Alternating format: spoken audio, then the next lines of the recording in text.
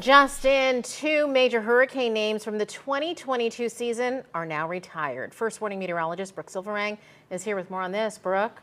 Fiona will be replaced by the name Farrah and Idris will replace the name Ian. The letter I is the most retired letter when it comes to hurricane names. Fiona devastated Puerto Rico after making landfall as a Category 1 hurricane, but it was the flooding that had the biggest impact. Fiona was responsible for 29 direct and indirect fatalities. Hurricane Ian battered Florida's southwest coast six months ago, resulting in over 150 direct and indirect deaths and over $112 billion in damage. Ian takes the title as the costliest hurricane in Florida's history and the third costliest in the United States.